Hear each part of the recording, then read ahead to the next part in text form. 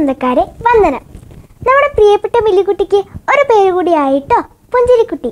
അപ്പാപ്പൻ പുഞ്ചിരിക്കുന്നതിലെ വലിയ കാര്യത്തെക്കുറിച്ച് പറഞ്ഞതിന് ശേഷം നമ്മുടെ മില്ലിക്കുട്ടി എല്ലാവരോടും നന്നായി ചിരിക്കുന്നുണ്ട് കേട്ടോ. കൂട്ടുകാരെ ഇന്ന് നമ്മുടെ കുഞ്ഞിപ്പെണ്ണ് ഒരു തീരുമാനമെടുത്ത് എല്ലാവരെയും ഞെട്ടിച്ചു. ഉച്ച കഴിഞ്ഞപ്പോൾ സേവിയർ മാമൻ വീട്ടിൽ വന്നു. അപ്പാപ്പന്റെയും മിലിക്കുട്ടിയുടെയും അയൽക്കാരനായ സേവിയർ മാമൻ ഖത്തറിലാണ്. ലീവിൽ വന്നതാ.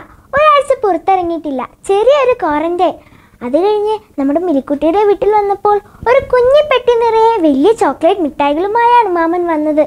നല്ലൊരു പുഞ്ചിരി സമ്മാനിച്ച് മിലിക്കുട്ടിയെ വാഴ്ചയിലത്തോടെ നോക്കി മാമൻ മധുരം നൽകി.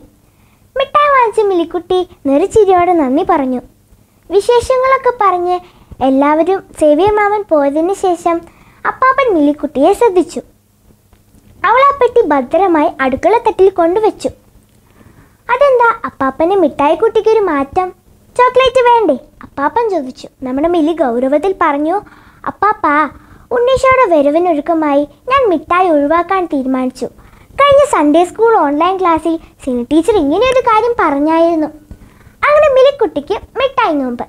ഇങ്ങനെയൊക്കെ നോമ്പ് നോക്കാമോ? എന്നാണോ ചിന്തിക്കുന്നത്? നമുക്ക് ഇങ്ങനെയൊക്കെയുള്ള തീരുമാനങ്ങളിലൂടെ തിരുപ്പിറവയ്ക്ക് ഒരുങ്ങാട്ടോ ഇന്നത്തെ ക്രിസ്മസ് ടൂർ പറയട്ടെ. നിങ്ങൾക്ക് ഏറെ ഇഷ്ടമുള്ള ഒരു ഭക്ഷണ പദാർത്ഥം ക്രിസ്മസ് വരെ ഒഴിവാക്കിയാലോ? വെറുതെ ഒഴിവാക്കിയാൽ പോരാ. പ്രാർത്ഥിക്കുകയും വേണം. നിങ്ങൾ റെഡിയല്ലേ? അപ്പോൾ എല്ലാവർക്കും ഉണ്ണീഷയുടെ സ്നേഹമുത്തം നൽകിക്കൊണ്ട് നിർത്തുന്നു. നമസ്കാരം.